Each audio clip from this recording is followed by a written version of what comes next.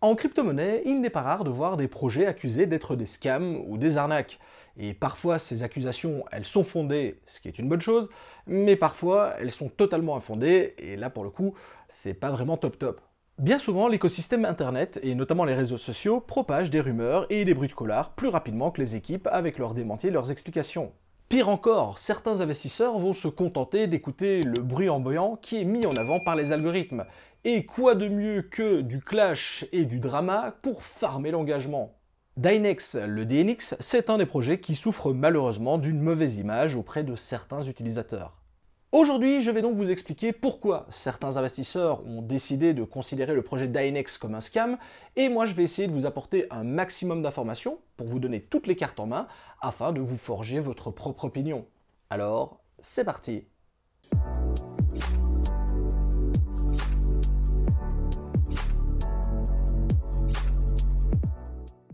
Pour cette vidéo, notre partenaire commercial n'est autre que l'un des sites d'information crypto les plus consultés, j'ai nommé Crypto News. Crypto News, c'est donc toutes les dernières actualités de l'écosystème crypto en quasi temps réel. Ne manquez aucune annonce, aucune présentation ou prise de parole des membres importants de la cryptosphère, ceux-ci sont directement repris et référencés sur le site. Alors forcément, hein, avec une actualité qui peut parfois être pas mal dense, le site regroupe toutes celles-ci sous différentes catégories, afin de vous permettre d'y voir plus clair. Bitcoin, Ethereum, NFT, DeFi et bien d'autres n'auront donc bientôt plus aucun secret pour vous. Mais en plus de l'actualité, vous pouvez également retrouver des articles et des guides détaillés afin d'en apprendre plus sur certains projets, sur le fonctionnement de la blockchain et plus généralement sur l'écosystème des cryptoactifs. Ceux-ci sont avant tout à but pédagogique afin d'aider les débutants à faire leurs premiers pas, mais également les investisseurs plus confirmés avec des comparaisons et des explications techniques sur certains domaines, comme par exemple comment créer votre propre crypto-monnaie. Dans un autre registre, CryptoNews vous propose également des analyses détaillées et comparatives entre les différentes plateformes d'échange. Vous retrouvez ainsi leurs forces, leurs faiblesses, s'il y a présence de KYC, les volumes journaliers, etc., etc. De quoi pouvoir comparer les différentes offres très facilement. Euh, sachant que le site est totalement gratuit, le plus simple est encore d'y jeter un coup d'œil par vous-même. Pour cela, le lien dans la description de la vidéo. Merci à eux pour le soutien et bonne vidéo à tous. Alors pour commencer, le projet d'Inex c'est un projet qui est très particulier et qui est vraiment mis à part au niveau de l'échiquier des crypto-monnaies et des crypto-actifs. Très souvent, les gens vont le considérer et le placer dans la catégorie d'épine, c'est-à-dire l'utilisation de ressources informatiques pour fournir de la puissance de calcul. Alors, c'est vrai que pour le projet d'Inex, il a recours à ce système, hein. les mineurs vont pouvoir fournir de la puissance de calcul au réseau, mais cette puissance de calcul, elle est quasiment exclusivement utilisée par le réseau qui est créé par Dynex. Il n'y a pas une volonté derrière de revendre cette puissance de calcul, bien que ce soit théoriquement possible. Et cette puissance de calcul, elle va notamment être utilisée pour développer et assurer le bon fonctionnement d'un ordinateur neuromorphique. Euh, oui, je vous l'avais dit, c'était un petit peu particulier comme projet. Et avec cet ordinateur neuromorphique, on touche ici au cœur même de l'objectif et du principe même de fonctionnement de Dynex. Alors, vous vous en doutez, un ordinateur neuromorphique, c'est très compliqué à comprendre, c'est également très compliqué à expliquer, et donc ici, je vais volontairement simplifier certaines choses et faire quelque chose de très simple. Donc, s'il y a des Dynex maximalistes qui regardent cette vidéo, ne le prenez pas mal. Le but ici, c'est pas de rentrer dans le moindre détail du projet pour que tout le monde puisse comprendre ce qui se cache derrière. Pour ça, comme d'habitude, je renvoie les gens directement vers tout ce qui est les informations, les GitHub, les sites officiels, etc. etc. Ici, le but, c'est vraiment de donner un max d'infos pour que les gens aient toutes les cartes en main et que ces informations, elles soient le plus claires possible. Et d'ailleurs, comme d'habitude, si le sujet vous intéresse, n'hésitez pas justement à aller creuser toutes ces informations sur le site officiel, les médiums, etc. etc. Je vous mets quelques liens dans la description de la vidéo. Honnêtement, c'est hyper intéressant à analyser et à comprendre, mais comme je vous le dis, c'est relativement complexe. Et donc concrètement, c'est quoi un ordinateur neuromorphique? Alors c'est tout simplement un ordinateur qui joue dans la catégorie des supercalculateurs. Et dans cette catégorie, je suis persuadé que vous connaissez son représentant le plus connu, le fameux ordinateur quantique dont on parle tant. Un ordinateur quantique, c'est donc une sorte de super ordinateur qui, pour fonctionner, va avoir besoin de conditions bien particulières, notamment au niveau de la pression, de la température et de tout un tas d'autres paramètres hyper compliqués à maintenir afin de réaliser énormément d'opérations à la minute et donc beaucoup plus d'opérations qu'un simple ordinateur traditionnel. Car, contrairement à un ordinateur classique qui fonctionne avec des bits, les fameux 0 heures, pas l'esprit mal tourné pour le coup, notre ordinateur quantique, quant à lui, va fonctionner avec ce qu'on appelle des qubits, c'est-à-dire également des 0 et 1, mais la possibilité d'avoir la superposition de ces deux états au même instant, grâce justement à son modèle quantique. Bref, c'est ultra efficace comme moyen de calculer à partir du moment où vous remplissez toutes les conditions nécessaires. Et ces conditions, elles sont malheureusement très dures à garder dans le temps. Le temps de fonctionnement d'un ordinateur quantique, c'est seulement de quelques minutes. Parce que oui, garder une machine proche du zéro absolu, à savoir moins 273 degrés Celsius, et là je suis content d'avoir fait chimie à l'école, mais également ne pas avoir de champ magnétique et plein d'autres choses alors que la machine elle fonctionne, ben vous en doutez, c'est absolument pas simple. Et donc, l'ordinateur neuromorphique de Dynex dans toute cette histoire, il est où? Alors, pour faire simple, eh bien, l'ordinateur quantique, bien que très particulier, ça fonctionne quand même comme un ordinateur. Dynex est son ordinateur neuromorphique, comme ça indiqué dans le nom, celui-ci va fonctionner comme notre cerveau. Et pour le coup, l'ordinateur neuromorphique va avoir recours à ce qu'on pourrait appeler d'une certaine façon des neurones artificiels. Et cette technologie, ça apporte tout un tas d'avantages à l'ordinateur neuromorphique par rapport à l'ordinateur quantique. Premièrement, ça va être le fait de pouvoir réaliser tout un tas de tâches en parallèle, comme le fait notre cerveau, là où un ordinateur classique, et dont l'ordinateur quantique, va réaliser les tâches les unes après les autres. Mais également, l'ordinateur neuromorphique, c'est un peu plus baroudeur, un peu plus 4x4 par rapport à un ordinateur quantique, parce qu'il n'y aura pas besoin justement de réunir toutes ces conditions hyper compliquées, hein. pas de champ magnétique, la bonne température, pas de perturbations, etc. etc ça peut vraiment fonctionner d'une façon beaucoup plus simple, sans avoir toutes les contraintes, et donc bah, on comprend bien que c'est beaucoup plus simple à mettre en place. Et pour finir, et pas des moindres, l'ordinateur neuromorphique consomme beaucoup. Mais alors quand je vous dis beaucoup, c'est beaucoup, beaucoup moins d'énergie qu'un supercalculateur, qu'un ordinateur quantique, et c'est donc pour toutes ces raisons que ce type d'ordinateur est très intéressant, notamment au niveau de la résolution de calculs complexes. Bref, vous l'aurez compris, rien qu'en expliquant cela, on comprend bien que ce genre de projet, c'est clairement pas à mettre entre toutes les mains, notamment au niveau des investisseurs, parce que c'est très très complexe. Et encore ici, pour le coup, j'ai énormément simplifié les choses, je m'en excuse par avance. Si vous voulez justement vous challenger un petit peu, n'hésitez pas à jeter un coup d'œil sur le white paper, vous allez voir, c'est directement un autre level. Et donc, de par sa nature ultra complexe, eh bien, on perd directement beaucoup d'investisseurs qui vont plutôt se contenter de crier au loup avec la masse parce que pour le coup ça c'est beaucoup plus simple à faire, que de tenter de faire leurs propres recherches et de faire leurs propres analyses. Mais malheureusement l'histoire, ne s'arrête pas là.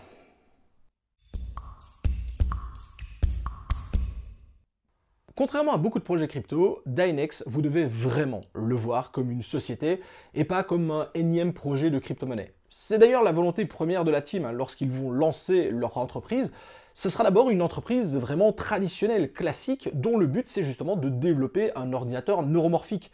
Ce n'est que par la suite, notamment lié à quelques contraintes techniques, qu'ils vont se décider de se lancer dans l'écosystème de la crypto-monnaie, on en parlera un peu plus tard, pour justement développer leur propre blockchain et leur propre coin. Et de par ce principe de fonctionnement, ça peut clairement déranger plusieurs investisseurs, là-dessus c'est compréhensible. Ce qu'il faut également savoir, c'est qu'à la base, le Dynex, effectivement, il est utilisé comme monnaie d'échange pour pouvoir avoir accès justement à cette puissance de calcul et avoir accès à l'ordinateur neuromorphique. Sauf que, pour le coup, moi, en tout cas en ce qui me concerne, je considère plutôt le Dynex, le coin, comme une représentation d'une part de la société, un petit peu comme une action dans une société traditionnelle. Parce que pour le coup, lorsque vous investissez dans le Dynex, vous n'investissez pas directement dans l'ordinateur neuromorphique, mais plutôt dans la société qui le développe et qui assure son fonctionnement. Et de par même ce principe-là également, ça peut déranger certains investisseurs parce qu'on n'a pas l'habitude de voir ça dans l'écosystème des cryptos.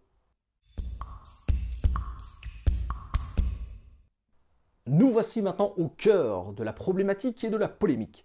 En effet, pour faire fonctionner un ordinateur neuromorphique, vous avez, comme n'importe quel autre ordinateur, besoin de puissance de calcul. Et pour cela, au départ, la team elle va se tourner vers ce qu'on appelle les FPGA. Les FPGA, ce sont des cartes programmables qui sont ultra efficaces, mais accessoirement également ultra chères, et c'est notamment le genre de cartes que vous allez retrouver dans les ASIC qui vous permettent notamment par exemple de miner du Bitcoin, du Caspa, de l'Alephium ou n'importe quel autre ASIC. Le problème des FPGA, c'est que par la suite, si vous voulez scaler, c'est-à-dire augmenter la puissance de votre ordinateur, eh bien, il va falloir réinvestir dans du matériel. Et or, comme je viens de vous le dire, c'est du matériel qui est extrêmement coûteux et qui n'est pas disponible à la grande distribution. On ne trouve pas des FPGA chez votre simple revendeur informatique. La team se retrouve donc confrontée à un problème, s'ils veulent développer le projet, il va falloir trouver une autre solution. Et c'est à ce moment-là qu'ils découvrent que l'ordinateur neuromorphique, il y a également la possibilité de le faire fonctionner avec d'autres composants hardware, les fameux GPU, les fameuses cartes graphiques. Parce que bien que cela soit moins efficace qu'un FPGA, ben ça fonctionne quand même. Et surtout, contrairement à FPGA, les GPU, les cartes graphiques, on en retrouve énormément, elles sont beaucoup moins chères, c'est très facile de s'en procurer, là par contre vous les retrouvez vraiment chez tous les revendeurs informatiques, et surtout, et c'est cela qui est très intéressant, bah, actuellement il y en a des milliers et des milliers qui sont disponibles parce qu'on se retrouve avec des mineurs des crypto-monnaies qui, oh, surprise, possèdent des cartes graphiques par centaines, et c'est là que ça devient très intéressant. La team va alors décider de faire pivoter son système de fonctionnement en quittant les FPGA pour les GPU, et c'est là déjà le premier nœud du problème. En effet, pour certaines personnes, la team se serait gavée en profitant justement d'être les seuls sur le réseau avec leur FPGA et ne laisserait que les miettes aux mineurs qui seraient arrivés avec leur GPU. Mais alors là, on pourrait se dire, bah, il suffit de regarder sur le bloc explorer du projet pour voir justement si la team a pu en profiter ou non. Et c'est là le deuxième problème, entre guillemets, c'est le fait que, de par son principe de fonctionnement comme une société au départ, hein, c'est ce que je vous ai expliqué dans le point juste avant, Dynex fonctionne vraiment comme une boîte, eh bien la blockchain malheureusement elle était privée et elle était anonyme. Ce n'est que par la suite qu'elle est devenue une blockchain transparente. Ce qui veut dire que malheureusement on ne peut pas retracer les transactions qui ont été faites avant que la blockchain ne devienne transparente. Ce qui laisse planer le doute au niveau justement de cette légitimité et de cette transparence envers la communauté. Et vous vous en doutez, rien qu'en disant cela, il n'en fallait pas beaucoup plus pour que certains crient au scam. Et pour le coup, on ne peut pas vraiment leur donner tort. Et malheureusement, pour Dynex, les problèmes ne s'arrêtent pas là. En effet, il semblerait que la team ait privilégié certains logiciels de minage plutôt que d'autres, et ça c'est quand même une opération qui est surprenante quand on sait que bah, le but c'est d'avoir un maximum de GPU, donc pourquoi ne pas donner les accès à tous les différents logiciels de mining? Mais également le fait qu'au départ, la team était totalement anonyme. Alors par la suite, justement, ils se sont doxés pour apporter de la crédibilité et de la légitimité au projet, mais c'est vrai que si vous avez eu que les informations de départ, bah, pour vous, la team elle est toujours anonyme, alors que c'est plus le cas. Et pour finir, la team est souvent accusée d'utiliser un jargon technique ultra complexe et compliqué pour tenter peut-être de noyer le poisson et de perdre certaines personnes qui chercheraient euh, justement à faire des recherches. Et là, c'est vrai que c'est un petit peu mitigé parce que le domaine est ultra technique, donc c'est clair que c'est normal d'avoir du jargon technique, mais il doit y avoir quand même la possibilité de simplifier et de vulgariser cela, un petit peu comme je l'ai fait ici. C'est vrai qu'ici, c'est extrêmement simplifié et vulgarisé, mais je pense que, comme d'habitude, il y a toujours un juste milieu qu'on peut trouver.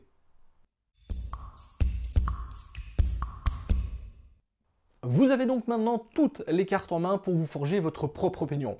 Mais de toute façon, que Dynex soit un scam ou non, le projet Dynex, il est extrêmement clivant. Je remarque que soit on adore, soit on déteste, mais on a rarement un entre-deux. Ajoutez à cela le fait que le projet soit dans un domaine ultra complexe, bah, ça n'aide pas à la démocratisation parce que le public cible, bah, il est extrêmement restreint. Moi personnellement, j'aime beaucoup parce que ça fait des domaines de la science que j'analyse et que j'étudie, notamment quand j'étais à l'école, mais vraiment c'est quelque chose qui me parle, mais je suis bien d'accord que c'est clairement pas le genre de sujet qui va parler au plus grand nombre. De mon point de vue, parce que je vais quand même vous donner mon avis sur la question, vu tout ce que le projet a mis en œuvre et a tenté d'apporter justement pour prouver sa bonne foi, je dois dire que j'ai envie de lui donner sa chance et de me dire que bon, ok, ils ont eu un départ catastrophique, c'est un faux départ, mais depuis ce temps-là, ils essayent vraiment de faire les choses au mieux et ils essayent tant bien que mal de remonter cette pente qui est quand même pour le coup relativement verticale. Pour moi, si la team avait vraiment voulu scam la communauté, bah, elle ne serait jamais doxée, parce que pour le coup, bah, c'est complètement idiot de faire ça, elle n'aurait jamais continué à apporter des preuves justement de sa bonne foi. Quand vous êtes un scammer, bah, tant pis, vous continuez et vous prenez l'argent qui est dispo. Si vous en prenez plus, tant mieux. S'il y en a moins, bah, tant pis, c'est toujours ça de prix. Et surtout, bah, je pense que la team aurait arrêté le développement et qu'elle aurait déjà repris ses billes, parce que là, c'est vrai que ça fait un bon moment que ça dure cette histoire autour du projet d'Inex. De plus, du côté du projet actuellement, il y a pas mal de bonnes nouvelles qui sont en train de tomber, ce qui montre d'ailleurs encore une fois que la team continue son développement. Ils sont d'ailleurs en train d'organiser des petites compétitions entre leur ordinateur neuromorphique et d'autres supercalculateurs, comme celui de chez IBM ou encore de celui de chez Google. Et je pense vraiment que si votre but c'est de scam, bah, vous prenez pas la tête avec ça.